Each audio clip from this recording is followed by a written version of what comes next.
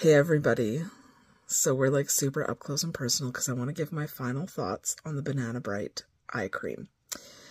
I've been using it for about a month. I got about five samples of it in the mail in one of my Sephora orders, and one of these little things lasts at least a week, okay?